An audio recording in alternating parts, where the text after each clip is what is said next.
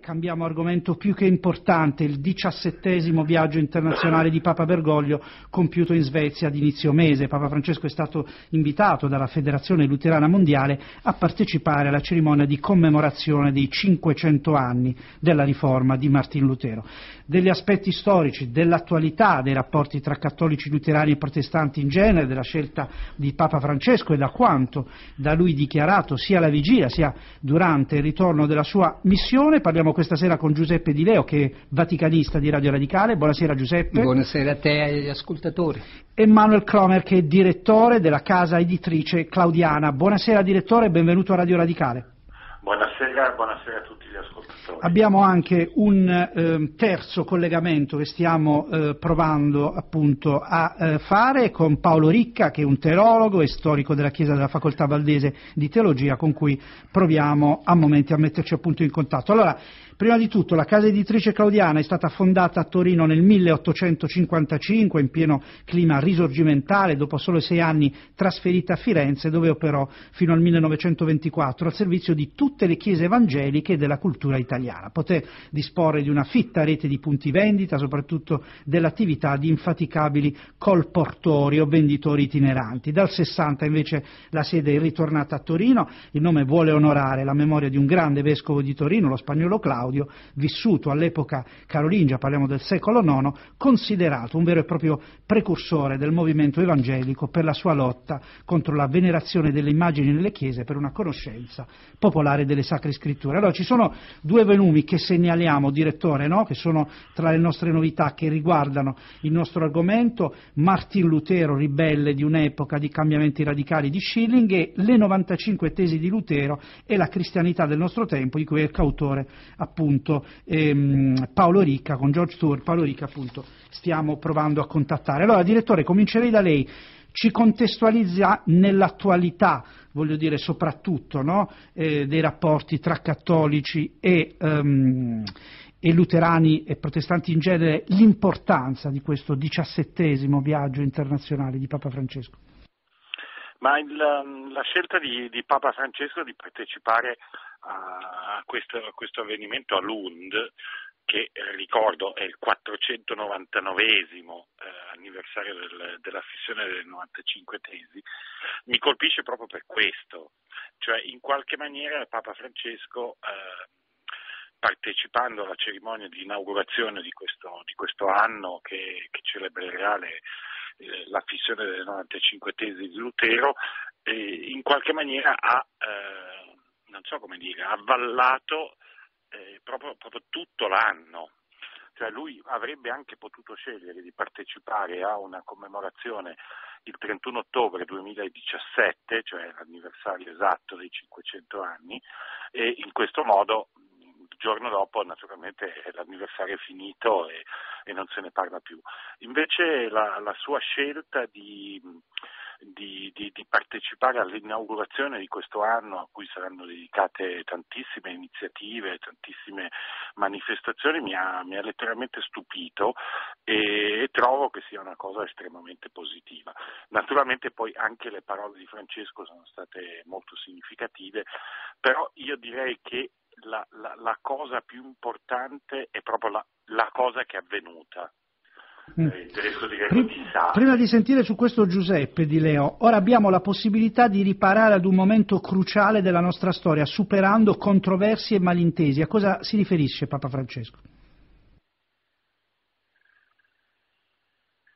Eh, la domanda è rivolta a me? Sì, sì, sì, sì, a lei. A lei. No, scusi, scusi, non ho capito. Eh, cioè, è chiaro che in questi 500 anni eh, abbiamo, la cristianità si è spaccata, eh, si è spaccata non per volere di Lutero, a differenza di quanti alcuni affermano, eh, si è spaccata perché la, la cristianità ha, ha percorso due, due, binari in qualche maniera paralleli e, e divergenti all'inizio e poi a un certo punto paralleli. Per fortuna negli ultimi 50 anni questi due binari si sono estremamente avvicinati e credo che effettivamente molte, molte incomprensioni.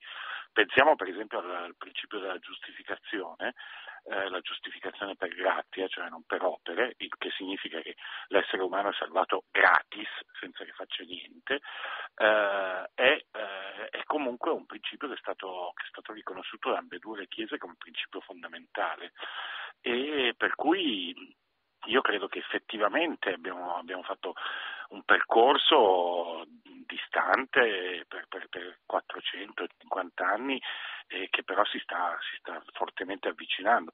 Pensiamo per esempio alla, all'interesse, all'approccio e alla, eh, allo studio della Bibbia che, che, la Chiesa Cattolica in questi, in questi, ultimi anni ha messo in atto.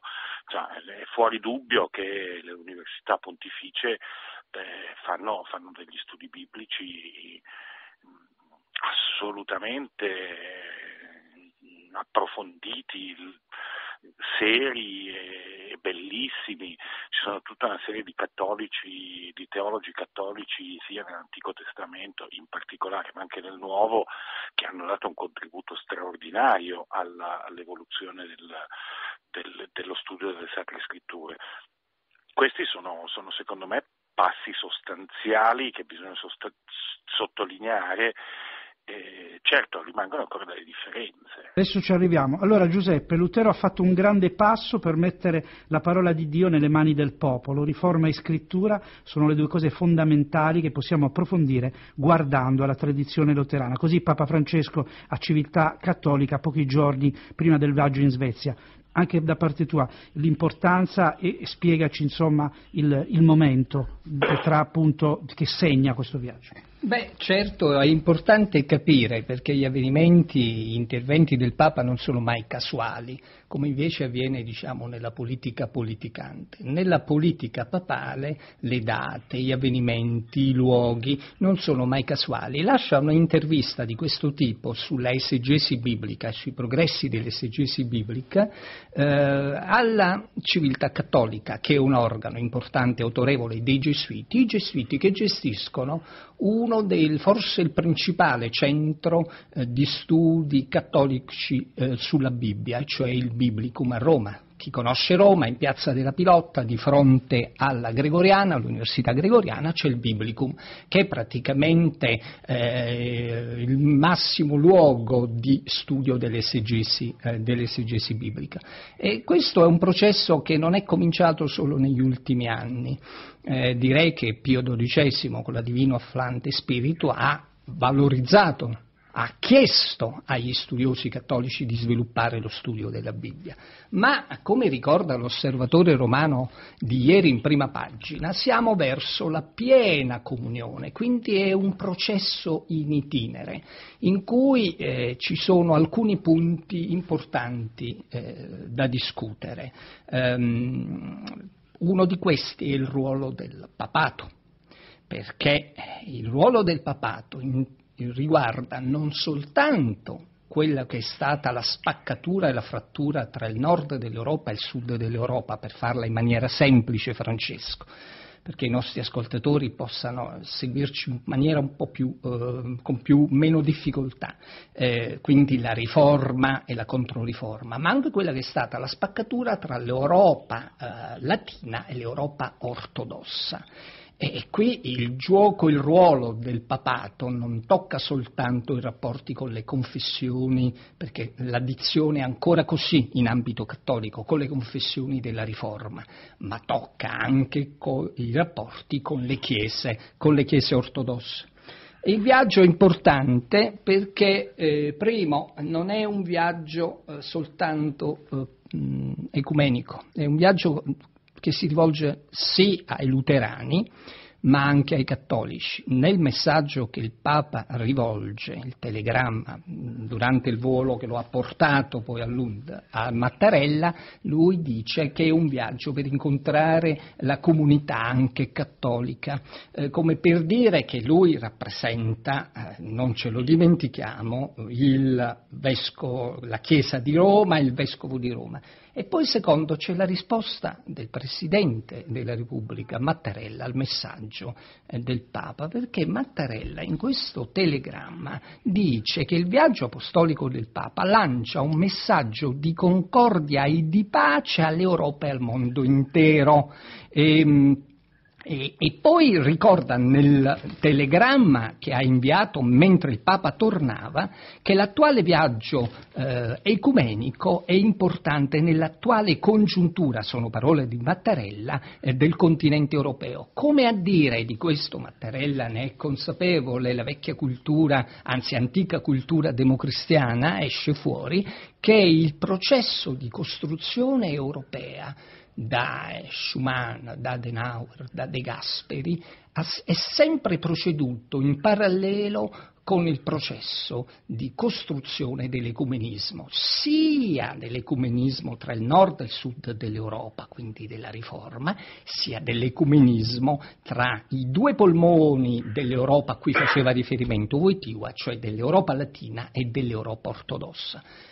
Da questo punto di vista è un viaggio di grandissimo interesse perché per Papa Francesco mh, mm, le separazioni tra i cristiani, e qui si vede che l'anelito è soprattutto di un, uh, un uomo di chiesa che viene dall'America Latina, è dovuta a carattere, non a, a, a questioni di carattere dottrinali e teologiche, ma questioni squisitamente politiche. Se così è, è chiaro che un Papa gesuita, i gesuiti sono maestri nell'arte della politica, ehm, che viene dall'altro mondo, non può che concepire i viaggi apostolici anche come strumento politico per eh, ricostruire un mondo che è frantumato, a cominciare da quello dell'Europa. È uno scenario di geopolitica fantastico.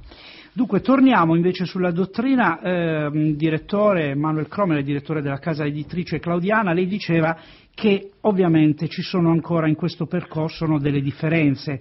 Mm, riusciamo a far capire a chi ci ascolta insomma, quali sono ancora in termini di dottrina, penso al clero delle donne, il rapporto con i sacramenti. Intanto Papa Francesco, il presidente della Federazione Luterana di Milano, hanno firmato comunque nella cattedrale di Lund in Svezia una dichiarazione comune in cui si impegnano a lavorare insieme per i profughi e per tutti i diritti negati del mondo. Le guerre, le grandi guerre di religione sono state combattute, come diceva in Europa, tra il 550 1659 e il 1648, dopo la riforma protestante e lo scisma anglicano. A livello invece dottrinale, ovviamente può aggiungere tutto che vuole su quanto diceva anche Giuseppe, su quanto ascoltato.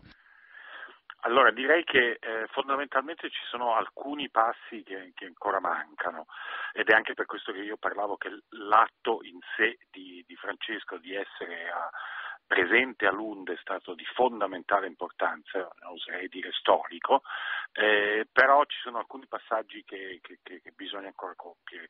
Allora, il primo, dal mio punto di vista, è eh, un riconoscimento delle chiese protestanti. Il Concilio Vaticano II le ha eh, definite come comunità ecclesiali e mi piacerebbe tanto che questo 2017 fosse, fosse l'anno in cui eh, la Chiesa Cattolica può finalmente riconoscere che le chiese protestanti sono effettivamente chiese. E poi ci sono due, due, due, due questioni, diciamo, eh, principalmente dottrinali, che sono, che sono, in parte anche un po' tecniche. Eh, naturalmente la prima eh, è il papato. Eh, nella, nell'epoca della riforma Melantone aveva suggerito nell'interim eh, che la Chiesa Cattolica accettasse che il, il, papato fosse de jure umano, cioè fosse una, una istituzione voluta dagli uomini e invece eh, il papato secondo la sua, la sua, autocomprensione, è de jure divino e questo per le chiese protestanti fa, fa problema, è inutile girarci attorno. Eh, però non credo che la distanza sia poi così distante su questo secondo punto è eh, diciamo il, il, ruolo di, tutti, di tutte le altre so dire, figure del cattolicesimo, a partire in primo luogo da Maria, e, eh, e, poi di tutti i santi, cioè per i, per i protestanti non esiste un, un, concetto, quello del tesoro dei meriti dei santi, eh, per cui chi ha è, è, stato troppo bravo nella sua vita può trasferire eh, tramite, tramite, qualche, qualche eh, magico inghippo. All'epoca della riforma erano soldi, adesso eh, sono porte che si aprono, si chiudono, eccetera, eccetera, e non, non, è possibile trasferire i meriti di una persona su un'altra, cioè non, non è quello, Gesù Cristo eh, è venuto per salvare i peccatori, non per salvare i giusti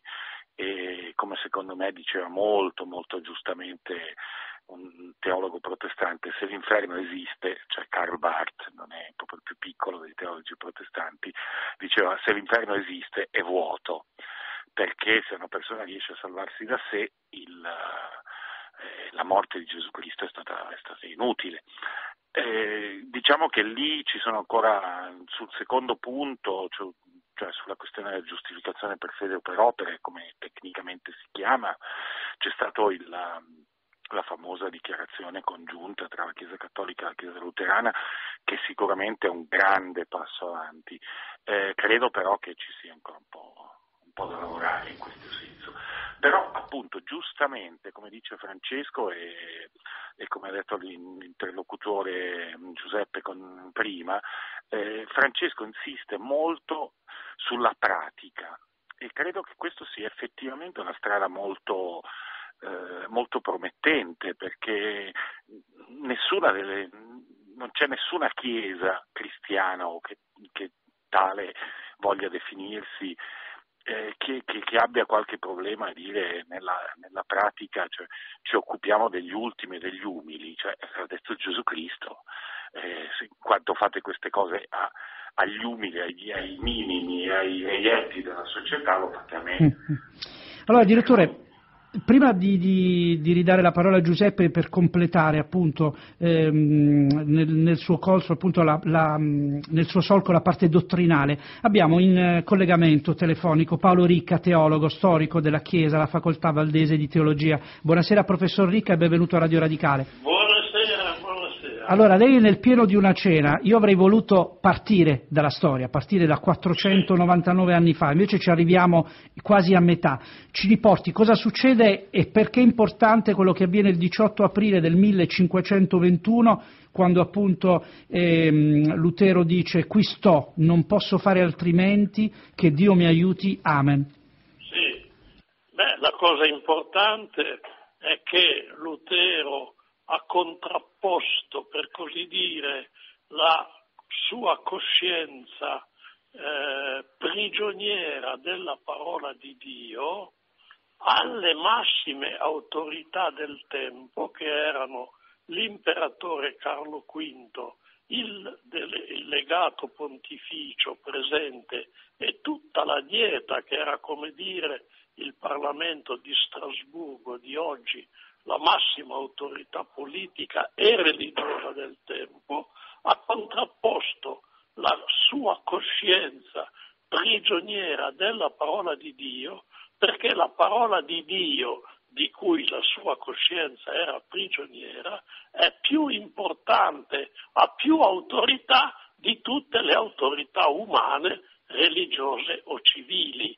Quindi è stata un'affermazione di straordinaria importanza perché ha relativizzato le autorità umane, civili e religiose rispetto al primato della parola di Dio, mediato dalla coscienza di un cristiano qualunque. Era un monaco, ma c'erano decine di migliaia di monaci, cioè era un cristiano qualunque, però quello che importa non è la coscienza, ma la coscienza prigioniera della parola di Dio. Quindi è stata l'affermazione del primato della parola di Dio sulle istituzioni e sulle autorità civili e religiose del tempo.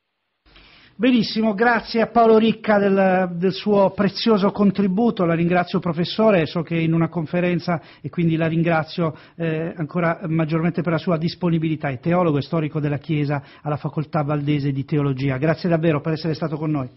Arrivederci. Giuseppe, allora, ricolleghiamoci a quanto diceva appunto alle difficoltà che sono ancora su questo percorso a cui accennavi, qui appunto parlava Manuel Cromer che è direttore della casa editrice claudiana che abbiamo in ascolto. Allora, io ho citato prima l'osservatore romano l'altro ieri verso la piena comunione, l'osservatore romano invece di oggi dice che non possiamo rassegnarci alla divisione, in prima pagina lo vedi, no? E in caratteri cubitali, ci sono due ordini di difficoltà, in estrema sintesi. La prima, eh, diciamo, esterna e riguarda il rapporto eh, che Papa Francesco cerca di instaurare, una specie di quadratura del cerchio, tra conf- le confessioni, per ora ecclesiali ma comunque non chiese, confessioni, questa è l'addizione che viene usata oggi anche nella teologia ecumenica eh, cattolica prevalente, ehm, e il, con le confessioni quindi della Riforma e Roma e contemporaneamente tra uh, Roma e il mondo ortodosso, perché il mondo ortodosso, questo Papa incontra il, a Lund, fa l'incontro di Lund, ma non ci dimentichiamo che qualche mese fa è andato a Lavana per incontrare il patriarca eh, di tutte le Russie. E il rapporto e la concezione, per meglio dire, ehm, teologica e anche istituzionale a cui faceva riferimento prima il professor Ricca, degli ortodossi, in un certo senso è molto simile a quella eh, cattolica. Mm, voglio dire, adesso non voglio fare il discorso della pentarchia, della primus inter pares di Roma rispetto alle altre, eh, Costantinopoli, Antiochia, eccetera, ma è chiaro che su questo punto gli stessi ortodossi non sono disposti a mettere in discussione quello che è il ruolo anche istituzionale della pentarchia e del, quindi del ruolo anche del Papa di Roma che viene riconosciuto, il vescovo di Roma, come il primus inter pares. Non solo, ma c'è una critica del mondo ortodosso alle confessioni cristiane eh, non di essere secolarizzate, cosa su cui la Chiesa di Roma è ben consapevole perché la secolarizzazione ha toccato il modo di pensare degli stessi cattolici, ma di essere mondanizzata e quindi di cedere alla, eh, al pensiero, al mainstream del pensiero debole, per esempio sulla teoria del gender, su cui il Papa, questo Papa fa un discorso chiaro, dice no, la teoria del gender non ha alcun punto di riferimento e poi anche sul fatto che le donne non possono essere ordinate sacerdote perché Giovanni Paolo II e quindi c'è il tema della successione anche apostolica, altro tema importante altro problema. Il secondo ordine di problemi è ad intra di, eh, della Chiesa Cattolica, e cioè, e cioè, la faccio in breve, la, in maniera sintetica e vedo anche di eh, semplificarla. In fondo, nella concezione degli ultimi due papi, di Papa Ratzinger e di, e di, eh, di Papa Bergoglio, eh, la riforma eh, è stata eh, diversa eh, nel senso che eh, c'è stata la faglia luterana e la faglia ehm, siamo in tempo di sisma, lo possiamo fare questo discorso anche in campo ecclesiologico, la faglia luterana e la faglia calvinista. Secondo Papa Bergoglio, latinoamericano, la faglia eh, luterana era una faglia ereticale, tollerabile, con cui si può discutere. La faglia calvinista invece era una faglia scismatica. Per Papa Ratzinger, Benedetto XVI, per il Papa emerito, il teologo europeo e tedesco, questa differenziazione non si può fare perché la colpa di Lutero, la responsabilità della riforma luterana è stata quella di scindere fides et ratio, che è il titolo poi di un'enciclica mh, mm, che pubblicata nel 1998, firmata dal regnante Papa eh, Giovanni Paolo II, ma il cui ispiratore, i vaticanisti, i vaticanologi lo sanno, è stato sostanzialmente Ratzinger, che è stato l'effetto, il cui effetto di questa divisione tra la fede e la ragione, la fides et ratio, è stata la scristianizzazione del continente europeo eh, in particolare, non tanto dell'Occidente, perché l'altro Occidente, quello americano, ha un altro punto di vista. E da questo punto di vista si capisce perché per Ratzinger, uomo europeo, teologo europeo, teologo tedesco che ha fatto i conti con eh, la riforma luterana, da teologo e poi da pastore, e questa, questo costituisce un problema e non ci sono stati dei passi così aperti sul piano della prassi come per questo Papa che è venuto dall'altro mondo e che invece sembra volere distinguere questo tipo di operazione tipica eh, dei gesuiti, ma che sicuramente susciterà, io credo, discussioni molto accese. Direttore, davvero un saluto, condivide? Eh, sì, parzialmente, cioè non, non, condivido al 100%. Devo dire che la questione della Fides et Ratio sicuramente è importante, però io credo che una delle, delle questioni che, che, rimangono aperte sul tavolo è proprio la questione etica, cioè della concezione etica, cioè come Lutero eh, si pone di fronte ai potenti dell'epoca, le chiese protestanti oggi si pongono di fronte ai problemi etici e prendono decisioni che sono anche forte contrasto, anche, anche con, con, il cattolicesimo mm. stesso. In, in particolare, insomma, questo vale per le coppie dello stesso sesso, vale per eh, l'eutanasia, per eh, tutti questi discorsi molto complicati, molto difficili, che però all'interno del protestantesimo si possono discutere e si possono prendere decisioni diverse. Mm. All'interno del cattolicesimo no. No, uh, diciamo che all'interno del cattolicesimo la Weltethik a cui si richiama Hans Küng è un argomento importante anche importantissimo, ma non esaustivo. Poi intervengono altri elementi sui quali, Francesco, discuteremo in un'altra occasione.